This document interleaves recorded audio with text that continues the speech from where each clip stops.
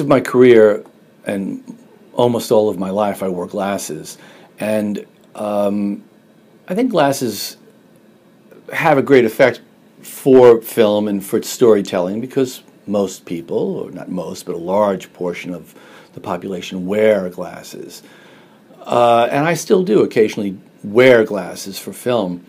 But it occurred to me after many experiences of either wearing no glasses or wearing contacts on a film that it was very difficult to either focus or see uh, your fellow actor's eyes or to be wearing contacts and to have dryness. And as a matter of fact, I recall many years ago in a film called Dave, I played a Secret Service agent and I was out in the sun and it was the end of a long day and my eyes started to twitch.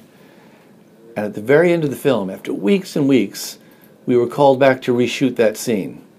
And no one ever said why we reshot that scene, but I knew. You know, this is the basic trick of film acting. Look at your favorite actor, favorite scene,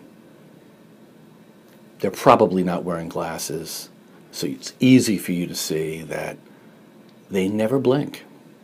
That's the trick to great film acting.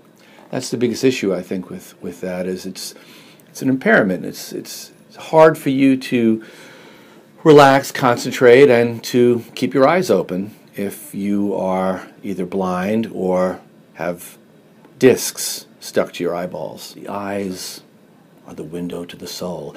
And thanks to Dr. Mandel, my windows are perfectly clear and better than 2020.